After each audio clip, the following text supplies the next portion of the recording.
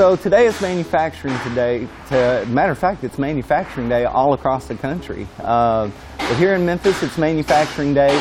We have students looking or interested in careers in manufacturing uh, from seven, several different schools uh, in the greater Memphis area.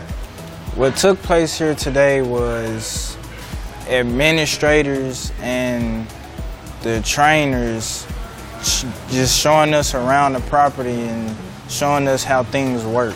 This um, experience brought um, exposure to students that are interested in STEM, not only STEM, but other careers. Some of my students have no idea what career field they want to go into, so seeing the engineering side as well as the manufacturing side. I think that what I took from the program is like a um, very substantial degree of, uh, of like information um, having to do with working with metals and very uh, interesting equipment and stuff that I could use later in life? Uh, I wanted to do something that had to do with medicine because like I like helping people. I wanted to be like a biomedical engineer. That's the type of people who make the prosthetics like the fake arms and stuff.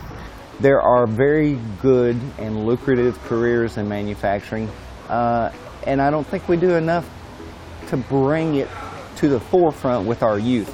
Uh, people that are looking for careers, uh, there's a career for them in manufacturing. I hope they take away the understanding of being career ready. So, therefore, being able to be in the building, be career ready, understand when we're pushing in the classroom, getting them ready to understand the fields or different careers that they may want to go into.